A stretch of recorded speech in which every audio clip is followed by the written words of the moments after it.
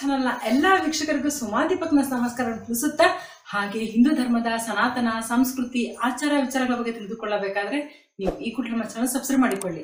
ಹಾಗೆ ಅಲ್ಲೇ ಪಕ್ಕದಲ್ಲಿರುವಂತಹ ಬೆಲ್ ಐಕನ್ ಕೂಡ ಆಕ್ಟಿವೇಟ್ ಮಾಡಿಕೊಳ್ಳಿ. ನನ್ನ ಎಲ್ಲ ಆತ್ಮೀಯ ಪ್ರೀತಿಯ ವೀಕ್ಷಕರಿಗೆಲ್ಲರಿಗೂ ಸಹ ಈ ಒಂದು ಬರುತ್ತಿರುವಂತಹ ಎರಡ್ ಸಾವಿರದ ಇಪ್ಪತ್ನಾಲ್ಕರ ಆಂಗ್ಲ ಭಾಷೆಯ ಒಂದು ಹೊಸ ವರ್ಷದ ಆಚರಣೆ ಎಲ್ಲರೂ ಸಹ ಅದ್ಭುತವಾಗಿ ಆಚರಣೆ ಮಾಡ್ತಾರೆ. ಹಾಗಾಗಿ ನನ್ನ ಎಲ್ಲ ಪ್ರೀತಿಯ ವೀಕ್ಷಕರು ಸಹ ನನ್ನ ಒಂದು ಈ ಒಂದು ಹೊಸ ವರ್ಷದ ಆರ್ಥಿಕ ಶುಭಾಶಯವನ್ನು ಕೋರುತ್ತೇನೆ.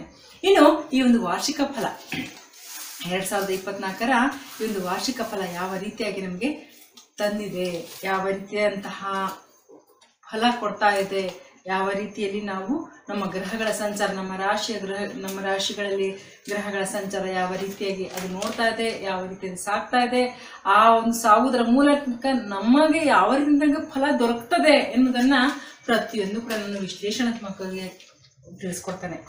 ಇನ್ನು ಈ ಒಂದು ಎರಡ್ ಸಾವಿರದ ಇಪ್ಪತ್ನಾಲ್ಕರಲ್ಲಿ ಗ್ರಹಗಳು ಮತ್ತು ನಕ್ಷತ್ರಗಳ ಚಲನೆಯನ್ನು ಕೂಡ ಆಧರಿಸಿಕೊಂಡಿದೆ. ಇನ್ನು ವಿವಿಧ ರಾಶಿ ಚಕ್ರಗಳ ಚಿಹ್ನೆಗಳ ಮೇಲೆ ಅದರ ಒಂದು ಸ್ಥಾನಗಳು ಮತ್ತು ಪ್ರಭಾವಗಳು ಕೂಡ ಅದನ್ನ ಒಳ ಗಣನೆಗೆ ತೆಗೆದುಕೊಳ್ಬೇಕಾಗ್ತದೆ. ಹಾಗೆ ಈ ಒಂದು ಎರಡ್ ಸಾವಿರದ ಇಪ್ಪತ್ನಾಲ್ಕರ ವಾರ್ಷಿಕ ಫಲ ನಮ್ಮ ಜೀವನದ ಎಲ್ಲಾ ಅಂಶಗಳ ನಿರ್ಣಾಯಕವಾದಂತಹ ಒಂದು ಒಳದೃಷ್ಟಿಯನ್ನು ಕೂಡ ಅದು ನಮಗೆ ಒದಗಿಸಿಕೊಡ್ತದೆ. ಖಂಡಿತ.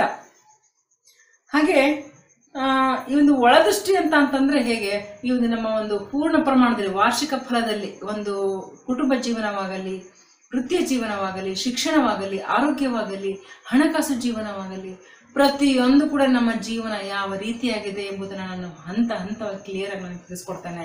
ಈ ಒಂದು ವಾರ್ಷಿಕ ಫಲ ಇದನ್ನು ಒಳಗೊಂಡಿರ್ತದೆ. ಹಾಗಾಗಿ ಈ ಎಲ್ಲ ರಾಶಿಯೂ ಕೂಡ ಅಂದ್ರೆ ಈ ಹನ್ನೆರಡು ರಾಶಿ ಚಕ್ರ ಚಿಹ್ನೆಗಳಿಗೂ ಸಹ ಈ ಒಂದು ವರ್ಷ ಅತ್ಯಂತ ಮಹತ್ವದಾಗಿರ್ತದೆ ಖಂಡಿತ. ಇನ್ನು ಎಲ್ಲ ರಾಶಿಗಳಿಗೂ ಸೇರಿದ ವ್ಯಕ್ತಿಗಳ ಜೀವನದಲ್ಲಿ ಗಮನಾರ್ಹವಾದಂತಹ ಬದಲಾವಣೆ ಕೂಡ ನಾವು ಕಾಣಬಹುದಾಗಿದೆ. ಹಾಗಾಗಿ ಈ ಹನ್ನೆರಡು ರಾಶಿ ಚಕ್ರಗಳಿಗೆ ಈ ವರ್ಷ ಅಂದ್ರೆ ಎರಡ್ ಸಾವಿರದ ಇಪ್ಪತ್ನಾಲ್ಕರ ವರ್ಷ ಏನು ಸೂಚಿಸುತ್ತದೆ? ಯಾವ ರೀತಿಯಂತ ನಮಗೆ ಅವರಿಗೆ ಅನುಕೂಲ ಆಗ್ತದೆ? ಯಾವ ರೀತಿಯಂತ ಅವರಿಗೆ ಫಲ ನೀಡ್ತದೆ ಎಂಬುದನ್ನ ನೋಡೋಣ. ಖಂಡಿತ ಈ ಒಂದು ನಮ್ಮದೇ ರಾಶಿಗಿರುವಂತಹ ಇನ್ನು ದ್ವಾದಶಿ ರಾಶಿ ಇನ್ನು ಕುಂಭ ರಾಶಿ ಹೇಗೆ ಫಲ ಕೊಡ್ತಾ ಇದೆ? ಅದು ಸಹ ಇಂದು ವೃತ್ತಿ ಜೀವನದಲ್ಲಿ ಹೇಗಿದೆ ಎಂಬುದನ್ನು ನೋಡೋಣ. ಖಂಡಿತ ಈ ಒಂದು ರಾಶಿಯವರಿಗೆ ವೃತ್ತಿ ಜೀವನದ ವಿಷಯದಲ್ಲಿ ಶನಿಯು ವರ್ಷವಿಡೀ ಅವರ ರಾಶಿಯಲ್ಲಿ ನೆಲೆಸುತ್ತಾನೆ.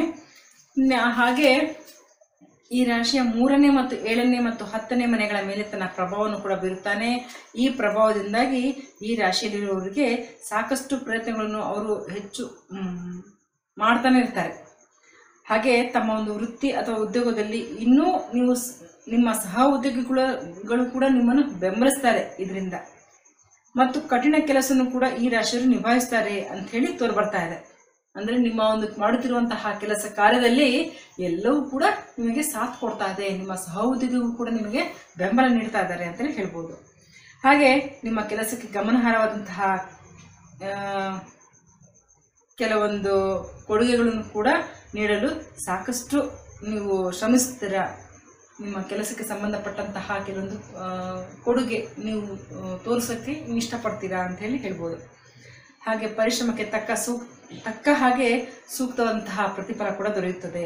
ಹಾಗೆ ಫೆಬ್ರವರಿಯಿಂದ ಮಾರ್ಚ್ವರೆಗೆ ನಿಮ್ಮ ಕೆಲಸದ ಕ್ಷೇತ್ರದಲ್ಲಿ ಹೆಚ್ಚು ಕಾರ್ಯನಿರತೆಯನ್ನು ಅನುಭವಿಸ್ತೀರಾ? ಇನ್ನು ಈ ಒಂದು ಅವಧಿಯಲ್ಲಿ ವಿದೇಶಿ ಪ್ರಯಾಣದ ಕೆಲಸಕ್ಕೆ, ಕೆಲಸ ಸಂಬಂಧಿತ ಅವಕಾಶಗಳು ಕೂಡ ನಿಮಗೆ ಬಲವಾದಂತಹ ಸೂಚನೆ ನಿಮಗಾಗಿ ಒದಗಿಸುತ್ತದೆ ಹಾಗೆ ಈ ರಾಶಿಯವರಿಗೆ ಈ ವರ್ಷ ವೃತ್ತಿ ಜೀವನದಲ್ಲಿ ಭರವಸೆ, ಯಶಸ್ಸನ್ನು ಕೂಡ ಹೊಂದಿರ್ತಾರೆ. ಇನ್ನು ಜನವರಿ ಮಾಸದಲ್ಲಿ ಹೆಚ್ಚು ಪ್ರಚಾರಗೊಳ್ಳುವಂತಹ ಅವಕಾಶಗಳಿದೆ ಈ ರಾಶಿಯವರಿಗೆ. ಅದೇ ರೀತಿ ಉದ್ಯೋಗದಲ್ಲಿರುವವರಿಗೂ ಸಹ ಆಗಸ್ಟ್ನಿಂದ ಅಕ್ಟೋಬರ್ವರೆಗಿನ ಅವಧಿಯು ಅವರಿಗೆ ಬದಲಾವಣೆಗೆ ಸೂಕ್ತವಾಗಿದೆ ಅಂತ ಹೇಳಿ ತಿಳಿಸಲಾಗಿದೆ. ಇನ್ನು ವರ್ಷದ ಕೊನೆಯ ಮಾಸವು ನಿಮಗೆ ಯಶಸ್ಸು ಕೂಡ ತರಲಿದೆ ಅಂತ ಹೇಳಿ ಈ ಒಂದು ವೃತ್ತಿ ಜೀವನದಲ್ಲಿ ಈ ರಾಶಿಯವರಿಗೆ ತಿಳಿಸಲಾಗಿದೆ. ವೃತ್ತಿ ಉದ್ಯೋಗದಲ್ಲಿ ಅವರಿಗೆ ತಿಳಿಸಲಾಗಿದೆ. ಇನ್ನು ಶಿಕ್ಷಣ ಜೀವನ ವಿದ್ಯಾರ್ಥಿಗಳಿಗೆ ಎರಡ್ ಸಾವಿರದ ಇಪ್ಪತ್ನಾಲ್ಕರ ವರ್ಷದ ಆರಂಭದಲ್ಲಿ ಕೆಲವು ಸವಾಲುಗಳು ಕೂಡ ಎದುರಿಸಬಹುದು. ನಿಮ್ಮ ಒಂದು ಅಧ್ಯಯನದ ಮೇಲೆ ಕೇಂದ್ರೀಕರಿಸುವ ನಿಮ್ಮ ಪ್ರಯತ್ನಗಳ ಹೊರತಾಗಿಯೂ ಸಹ ನಿಮ್ಮ ಗಮನಕ್ಕೆ ಅಡ್ಡಿಯಾಗುವಂತಹ ವಿವಿಧ ಸಮಸ್ಯೆಗಳೊಂದಿಗೆ ನೀವು ಹಿಡಿತವನ್ನು ಸಾಧಿಸುವಿರಿ. ಖಂಡಿತ. ಇನ್ನು ಫೆಬ್ರವರಿ ಮತ್ತು ಮಾರ್ಚ್ ನಡುವೆ ಏಕಾಗ್ರತೆ ನೀಡುವಿರಿ. ಅದೇ ರೀತಿಯಾಗಿ ಬಹಳಷ್ಟು ಕೂಡ ಶ್ರಮ ಕೂಡ ಪಡ್ತೀರಾ. ಇನ್ನು ಏಪ್ರಿಲ್ನಿಂದ ಆಗಸ್ಟ್ ಮತ್ತು ನವೆಂಬರ್ ಮಾಸದಲ್ಲಿ ವಿದ್ಯಾರ್ಥಿಗಳಿಗೆ ಕೆಲವು ಸಮಸ್ಯೆಗಳು ಉಂಟಾಗಬಹುದು. ಹಾಗಾಗಿ ವಿದ್ಯಾರ್ಥಿಗಳು ನಿರಂತರವಾಗಿ ನೀವು ಹೆಚ್ಚು ಗಮನ ಕೊಡಬೇಕು.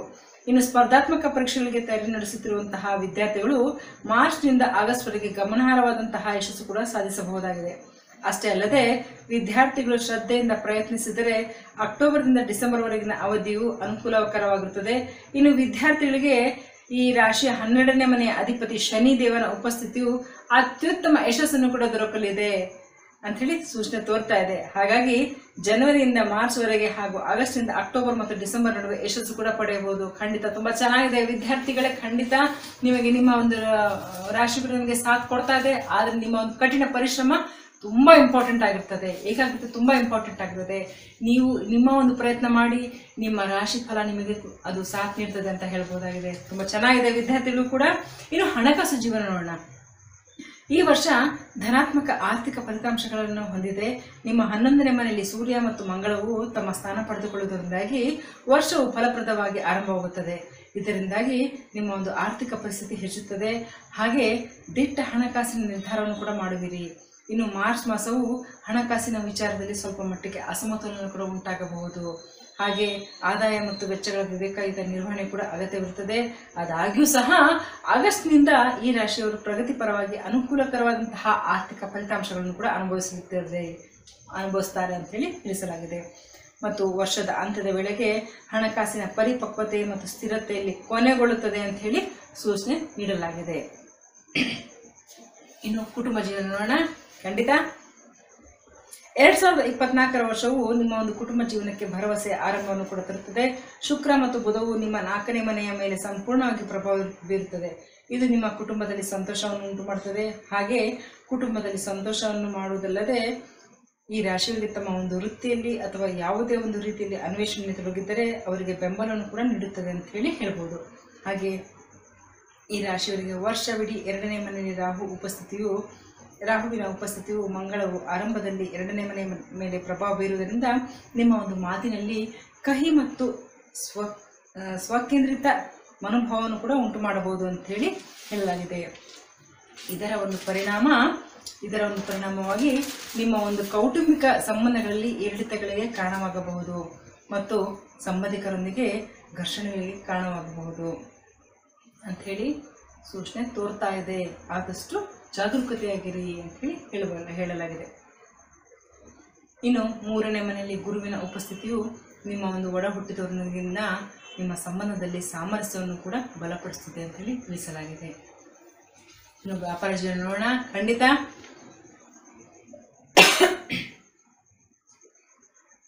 ವ್ಯವಹಾರದಲ್ಲಿ ತೊಡಗಿರುವಂತಹ ವ್ಯಕ್ತಿಗಳು ವರ್ಷಕ್ಕೆ ಅನುಕೂಲಕರವಾದಂತಹ ಆರಂಭವನ್ನು ನಿರೀಕ್ಷಿಸಬಹುದಾಗಿದೆ. ಹಾಗೆ ವರ್ಷದ ಆರಂಭದಲ್ಲಿ ನಿಮ್ಮ ಏಳನೇ ಮನೆಯ ಅಧಿಪತಿ ಸೂರ್ಯ ಮತ್ತು ಹನ್ನೊಂದನೇ ಮನೆಯಲ್ಲಿ ಹತ್, ಹತ್ತನೇ ಅಧಿಪತಿ ಮಂಗಳನೊಂದಿಗೆ ಹೊಂದಿಕೆಯಾಗುತ್ತಾನೆ. ಹಾಗೆ ದೇವಗುರು ಬೃಹಸ್ಪತಿಯು ನಿಮ್ಮ ಒಂದು ಮೂರನೇ ಮನೆಯಲ್ಲಿ ನೆಲೆಗೊಳ್ಳಿರುವಾಗ, ನೆಲೆಸಿರುವಾಗ ಮೇವರೆಗೆ ನಿಮ್ಮ ಏಳನೇ ಮತ್ತು ಒಂಬತ್ತು ಮತ್ತು ಹನ್ನೊಂದನೇ ಮನೆಯನ್ನು ದೃಷ್ಟಿಸುತ್ತಾರೆ. ಈ ಗ್ರಹಗಳ ಸ್ಥಾನಗಳು ನಿಮ್ಮ ಅದೃಷ್ಟವನ್ನು ಕೂಡ ಹೆಚ್ಚಿಸುತ್ತದೆ. ಹಾಗೆ ಈ ಒಂದು ರಾಶಿಯವರು ವ್ಯಾಪಾರದ ಪ್ರಯತ್ನದಲ್ಲಿ ಯಶಸ್ಸು ಕೂಡ ಗೊಳ್ಳುತ್ತಾರೆ ಅದೇ ರೀತಿಯಾಗಿ ವ್ಯಾಪಾರದ ಬೆಳವಣಿಗೆ ಕೂಡ ಬಲವಾಗಿರ್ತದೆ ಅಂತಲೇ ಹೇಳಲಾಗಿದೆ. ಅಷ್ಟೇ ಅಲ್ಲದೆ ನಿಮ್ಮ ಯೋಜನೆಗಳು ಕೂಡ ವಿಸ್ತರಿಸಿಕೊಳ್ಳಲು ನಿಮಗೆ ಒಳ್ಳೆಯದಾದಂತಹ ಅವಕಾಶ ಕೂಡ ಉಂಟಾಗಲಿದೆ. ಚೆನ್ನಾಗಿದೆ ಅಲ್ವಾ? ಖಂಡಿತ ಸಂತೋಷ ಆಗ್ತದೆ. ಇನ್ನು ಈ ರಾಶಿಯವರು ವ್ಯಾಪಾರದಲ್ಲಿ ಬದಲಾವಣೆ ಮಾಡಿರುವುದಾದರೆ ಏಪ್ರಿಲ್ ಮತ್ತು ಜುಲೈ ನಡುವೆ ವಿಶೇಷವಾಗಿ ಲಾಭದಾಯಕವಾದಂತಹ ಮಾಸವಾಗಿರ್ತದೆ ಇವರಿಗೆ. ಈ ಒಂದು ಸಮಯದಲ್ಲಿ ಅವರಿಗೆ ಸರ್ಕಾರಿ ಕ್ಷೇತ್ರದಿಂದ ಯಶಸ್ಸನ್ನು ಕೂಡ ಅವರು ಕಾಣಬಹುದಾಗಿದೆ. ಅದರಿಂದ ಕೂಡ ಅವರು ಹೆಲ್ಪ್ ತಗೊಳ್ತಾರೆ. ಹಾಗೆ ಅದರಿಂದ ಅವರು ಮುಂದೆ ಯಶಸ್ಸು ಕೂಡ ಕಾಣ್ತಾರೆ. ಈ ರಾಶಿಯವರಿಗೆ ಒಟ್ಟಾರೆ ನೋಡುವುದಾದರೆ ಈ ವರ್ಷವು ಅಂದರೆ ಎರಡು ಸಾವಿರದ ಇಪ್ಪತ್ನಾಲ್ಕರಲ್ಲಿ ವ್ಯವಹಾರದ ದೃಷ್ಟಿಕೋನದಿಂದ ಅತ್ಯಂತ ಅನುಕೂಲಕರತೆಯನ್ನು ಹೊಂದಿದೆ. ಹಾಗೆ ಅಕ್ಟೋಬರ್ ಮತ್ತು ಡಿಸೆಂಬರ್ ನಡುವೆ ಕೆಲವು ಸಮಸ್ಯೆಗಳಿಂದ ಕೂಡ ಕೂಡುತ್ತದೆ ಆದರೂ ಸಹ ಹೆಚ್ಚಿನ ಮಟ್ಟದಲ್ಲಿ ವ್ಯವಹಾರದಲ್ಲಿ ಅಭಿವೃದ್ಧಿ ಕೂಡ ಹೊಂದುತ್ತಾರೆ ಅಂಥೇಳಿ ಹೇಳಲಾಗಿದೆ. ಇದು ಇಂಪಾರ್ಟೆಂಟ್ ಅಲ್ವಾ? ಹೊಂದಾಣಿಕೆ ಆಗೋದು, ಹೊಂದಾಣಿಕೆ ಆಗದೇ ಇರೋದು ಅದು ಸೆಕೆಂಡರಿ ಫಸ್ಟ್ ನಾವು ವೃತ್ತಿ ಹಣಕಾಸು ವ್ಯಾಪಾರ ವ್ಯವಹಾರ ಅದು ಇಂಪಾರ್ಟೆಂಟ್ ಇರ್ತದೆ. ಖಂಡಿತ ಚೆನ್ನಾಗಿದೆ. ಇನ್ನು ಆಸ್ತಿ ಮತ್ತು ವಾಹನ ನೋಡೋಣ. ಈ ರಾಶಿಯ ವ್ಯಕ್ತಿಗಳು ಈ ವರ್ಷದಲ್ಲಿ ವಾಹನಗಳು ಅಥವಾ ಆಸ್ತಿಯನ್ನು ಖರೀದಿಸುವ ಮೂಲಕ ವರ್ಷವನ್ನು ಪ್ರಾರಂಭಿಸುತ್ತಾರೆ ಅಂತ ಹೇಳಿ ತಿಳಿಸಲಾಗಿದೆ. ಹಾಗೆ ವಾಹನವನ್ನು ಖರೀದಿಸುವಂತಹ ಯೋಜನೆಯನ್ನು ಹೊಂದಿದ್ದರೆ ಅವರು ಮೇ ಹತ್ತೊಂಬತ್ತು ಮತ್ತು ಜೂನ್ ಹನ್ನೆರಡು ನಡುವೆ ಶುಕ್ರನ, ಶುಕ್ರನು ನಿಮ್ಮ ನಾಲ್ಕನೇ ಮನೆಗೆ ತನ್ನ ಸ್ವಂತ ರಾಶಿಯಲ್ಲಿ ಸಾಗಿದಾಗ ನಿಮಗೆ ಸೂಕ್ತವಾದಂತಹ ಸಮಯವಾಗಿರುತ್ತದೆ ತದನಂತರ ಜೂನ್ನಿಂದ ಜುಲೈ ಮತ್ತು ಸೆಪ್ಟೆಂಬರ್ನಿಂದ ಅಕ್ಟೋಬರ್ ಮಾಸ ಗಮನಾರ್ಹ ಸಾಮರ್ಥ್ಯ ಸಾಧನೆಗಳು ಕೂಡ ಉಂಟಾಗ್ತದೆ. ಇನ್ನು ಬೆಲೆ ಬಾಳುವ ಆಸ್ತಿಯನ್ನು ಪಡೆಯಲು ಬಯಸುವವರಿಗೆ ಜೂನ್ನಿಂದ ಆಗಸ್ಟ್ವರೆಗೆ ಅವಧಿ ಯಶಸ್ಸನ್ನು ಕೂಡ ಉಂಟು ಮಾಡ್ತದೆ ಅಂತ ಹೇಳಿ ತಿಳಿಸಲಾಗಿದೆ. ಇನ್ನು ಸಂಪತ್ತು ಮತ್ತು ಲಾಭ ನೋಡೋಣ. ವರ್ಷದ ಮೊದಲಾರ್ಧವು ವಿಶೇಷವಾಗಿ ಅನುಕೂಲಕರವಾಗುತ್ತೆ. ಏಕೆಂದರೆ ಗುರುವು ನಿಮ್ಮ ಹನ್ನೊಂದನೇ ಮನೆಯ ಮೇಲೆ ತನ್ನ ದೃಷ್ಟಿಯನ್ನು ಬೀರುವುದರಿಂದ ಅದು ತನ್ನ ಒಂದು ಮೇ ಒಂದರವರೆಗೆ ಕೆಲವು ಏರಿಳಿತಗಳು ಕೂಡ ಸಂಭವಿಸಬಹುದು. ಆದರೆ ಏಪ್ರಿಲ್ ಮಾಸದಲ್ಲಿ ಸ್ಥಿರತೆ ಕೂಡ ಉಂಟಾಗ್ತದೆ. ಅಷ್ಟೇ ಅಲ್ಲದೆ ವರ್ಷದ ಉದ್ದಕ್ಕೂ ಈ ಒಂದು ರಾಹು ನಿಮ್ಮ ಎರಡನೇ ಮನೆಯಲ್ಲಿ ನೆಲೆಸುತ್ತಾನೆ. ಇದರಿಂದ ಖರ್ಚುಗಳು ಕೂಡ ಹೆಚ್ಚಾಗುತ್ತದೆ. ಇನ್ನು ಅಕ್ಟೋಬರ್ನಿಂದ ಡಿಸೆಂಬರ್ವರೆಗೆ ಹಣಕಾಸು ಉದ್ಯಮಗಳಲ್ಲಿ ಕೂಡ ಹೂಡಿಕೆ ಮಾಡದಂತೆ ಎಚ್ಚರಿಕೆ ಅವರಿಗೆ ನೀಡಲಾಗಿದೆ. ನಾನು ಆಗಲೇ ಒಂದು ವಿಷಯದಲ್ಲಿ ಕೂಡ ಹೇಳಿದೆ. ಹೂಡಿಕೆ ಮಾಡುವಾಗ ನೋಡಿಕೊಂಡು ಮಾಡಬೇಕು ಅಂತ ಹೇಳಿ. ಈ ಒಂದು ಹೂಡಿಕೆ ಮಾಡದಂತೆ ಎಚ್ಚರಿಕೆ ಕೂಡ ವಹಿಸ್ಕೋಬೇಕು. ಕಾರಣ ಈ ಒಂದು ಸಮಯದಲ್ಲಿ ನಷ್ಟ ಉಂಟಾಗುವಂತಹ ಸಂಭವಗಳು ಕೂಡ ಕಾಣ್ತಾ ಇದೆ. ಇನ್ನು ಆರೋಗ್ಯ ನೋಡೋಣ. ಈ ರಾಶಿಯ ಅಧಿಪತಿ ಶನಿ ನಿಮ್ಮ ರಾಶಿಯಲ್ಲಿ ಇರುತ್ತಾನೆ. ಶಿಸ್ತಿನ ಜೀವನ ಶೈಲಿಯನ್ನು ಕಾಪಾಡಿಕೊಳ್ಳುವ ಮೂಲಕ ನೀವು ಉತ್ತಮ ಆರೋಗ್ಯದ ಲಾಭವನ್ನು ಪಡೆಯಲು ಸಾಧ್ಯವಾಗ್ತದೆ. ಇನ್ನು ಈ ರಾಶಿಯವರಿಗೆ ಎಂಟನೇ ಮನೆಯಲ್ಲಿ ಕೇತುವಿನ ಉಪಸ್ಥಿತಿಯ ಉಪಸ್ಥಿತಿಯಿಂದಾಗಿ ಅವರಿಗೆ ಮೂಲವ್ಯಾಧಿ ಅಥವಾ ಗುದದ ಕಾಯಿಲೆಗಳಿಂದ ಸ್ವಲ್ಪ ಆರೋಗ್ಯದಲ್ಲಿ ಸಮಸ್ಯೆ ಉಂಟಾಗಬಹುದು. ಹಾಗಾಗಿ ಆರೋಗ್ಯದಲ್ಲಿ ಯಾವುದೇ ಸಮಸ್ಯೆಗಳಿದ್ದರೂ ಅದನ್ನು ಮುಂಚಿತವಾಗಿ ಅವರು ಗುರುತಿಸಿಕೊಂಡು ಅವ್ರಿಗೆ ಏನು ಪ್ರಾಬ್ಲಮ್ ಆಗ್ತಾ ಇದೆ ಏನು ಸಮಸ್ಯೆ ಆಗ್ತಾ ಇದೆ ಅದನ್ನು ಅವರೇ ಮುಂಚೆ ತಿಳ್ಕೊಂಡು ಅಂತಹ ಸಮಸ್ಯೆ ಹಿಂಗಾಗ್ತಾ ಇದೆ ಅಂತ ಅವ್ರು ಬಾಯ್ಬಿಟ್ಟು ಹೇಳಿ ತಕ್ಷಣವೇ ನೀವು ನಿಮ್ಮ ವೈದ್ಯರ ಬಗ್ಗೆ ಹೋಗಿ ತಪಾಸಣೆ ಮಾಡ್ಕೊಳ್ಳಿ. ಖಂಡಿತ ಗುಣ ಆಗ್ತದೆ ಅಂತ ಹೇಳ್ಬೋದು. ಇನ್ನು ಅದೃಷ್ಟ ಸಂಖ್ಯೆ. ಖಂಡಿತ ಈ ರಾಶಿ ಅದೃಷ್ಟ ಸಂಖ್ಯೆ ಅಂದ್ಕೊಳ್ಳದೆ ಎಲ್ಲರೂ ಕೂಡ ಅದರ ಮೇಲೆ ಬಹಳಷ್ಟು ಗಮನ ಕೇಂದ್ರೀಕರಿಸ್ತಾರೆ ಖಂಡಿತ ತುಂಬಾ ಇಷ್ಟ ಆಗ್ತದೆ ನನಗೆ ಅದು ಹೇಳಕ್ಕೆ.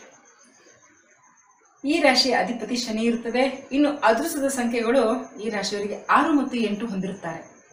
ಈ ವರ್ಷ ಗಣನೀಯ ಆರ್ಥಿಕ ಬೆಳವಣಿಗೆ ಮತ್ತು ವೃತ್ತಿಪರ ಮತ್ತು ವ್ಯಾಪಾರ ಅನ್ವೇಷಣೆಗಳಲ್ಲಿ ಯಶಸ್ಸನ್ನು ಕೂಡ ಹಾಗೆ ಅವರಿಗೆ ಒಂದು ಭರವಸೆಯನ್ನು ಕೂಡ ನೀಡುತ್ತದೆ ಅಂತ ಹೇಳಿ ಹೇಳಬಹುದು. ಅದೇ ರೀತಿಯಾಗಿ ವ್ಯಾಪಾರ ಮತ್ತು ಉದ್ಯೋಗ ಇವೆರಡಲ್ಲಿಯೂ ಸಹ ಅವರು ಸಕಾರಾತ್ಮಕ ಫಲಿತಾಂಶ ಕೂಡ ಪಡ್ಕೊಳ್ತಾರೆ ಅಂತೇಳಿ ತಿಳಿಸಲಾಗಿದೆ. ಇನ್ನು ಪರಿಹಾರ. ಚಿಕ್ಕ ಪುಟ್ಟ ಸಮಸ್ಯೆಗಳು ಇದ್ದೇ ಇರ್ತದಲ್ವಾ? ಖಂಡಿತ ಆ ಸಮಸ್ಯೆ ನಮ್ಮ ಮುಂದೆ ಹೋಗೋದು. ಹಾಗೆ ಆ ಸಮಸ್ಯೆಗಳಿಗೆ ಪರಿಹಾರ ಕೂಡ ಸೂಚಿಸ್ತಾನೆ ಹಾಗಾಗಿ ಈ ಒಂದು ವಾರ್ಷಿಕ ಪದದಲ್ಲಿ ಈ ಒಂದು ಚಿಕ್ಕ ಪುಟ್ಟ ಸಮಸ್ಯೆಗಳಿಗೆ ಪರಿಹಾರ ಅಂತಂದ್ರೆ ನಾನು ಎರಡು ಅಥವಾ ಮೂರು ಹೇಳ್ತೇನೆ. ಅದ್ರಲ್ಲಿ ನಿಮಗೆ ಯಾವುದು ನಿಮಗೆ ಅನುಕೂಲ ಆಗ್ತದೆ ಅದನ್ನು ಮಾಡಿಕೊಳ್ಳಿ. ಈ ರಾಶಿಯವರಿಗೆ ಒಂದು ಕೆಲವೊಂದು ಚಿಕ್ಕ ಪುಟ್ಟ ಸಮಸ್ಯೆಗಳಿದ್ರು ಕೂಡ ಅದಕ್ಕೆ ಪರಿಹಾರ. ಅವರು ಗಣಪತಿಗೆ ಗರಿಕೆಯನ್ನು ಅರ್ಪಿಸಬೇಕು ಮತ್ತು ಅಥರ್ವ ಶೀರ್ಷವನ್ನು ಅವರು ಪಠಣೆ ಮಾಡಬೇಕು. ಖಂಡಿತ ಒಳ್ಳೆಯದಾಗ್ತದೆ ಇನ್ನೊಂದು ಅಂದರೆ, ಅವರು ಶನಿ ಬೀಜ ಮಂತ್ರವನ್ನು ಪಠಿಸುವಾಗ ಸರಿಯಾದಂತಹ ಆಚರಣೆಗಳನ್ನು ಕೂಡ ಮಾಡುವುದು ಸೂಕ್ತ. ಯಾಕಂದರೆ ಶನಿ ಬೀಜ ಮಂತ್ರ ಪಠಣೆ ಮಾಡುವಾಗ ಅದಕ್ಕೆ ಆದಂತಹ ಕೆಲವೊಂದು ಪದ್ಧತಿ, ನಿಯಮ ಪ್ರಕಾರಗಳಿರ್ತದೆ ಅದನ್ನು ಕರೆಕ್ಟಾಗಿ ನೀವು ಫಾಲೋ ಮಾಡ್ಕೊಂಡು ಮಾಡಿ. ತುಂಬ ಚೆನ್ನಾಗಿ ಅದಕ್ಕೆ ನಿಮ್ಮ ಸಮಸ್ಯೆಗೆ ಅದು ಪರಿಹಾರ ಆಗ್ತದೆ ಅಂತ ಹೇಳ್ಬೋದು. ಹೀಗೆ ಇನ್ನು ಅನೇಕ ವಿಚಾರ ತಿಳಿದುಕೊಳ್ಳಬೇಕಾದ್ರೆ ನೀವು ನಮ್ಮ ಚಾನಲ್ ಸಬ್ಸ್ಕ್ರೈಬ್ ಮಾಡಿಕೊಳ್ಳಿ, ಹಾಗೆ ಅಲ್ಲೇ ಪಕ್ಕದಲ್ಲಿರುವಂತಹ ಬೆಲ್ ಐಕನ್ ಆಕ್ಟಿವೇಟ್ ಮಾಡಿಕೊಳ್ಳಿ. ಎಲ್ಲರಿಗೂ ಒಳ್ಳೆಯದಾಗಲಿ. ಧನ್ಯವಾದಗಳು.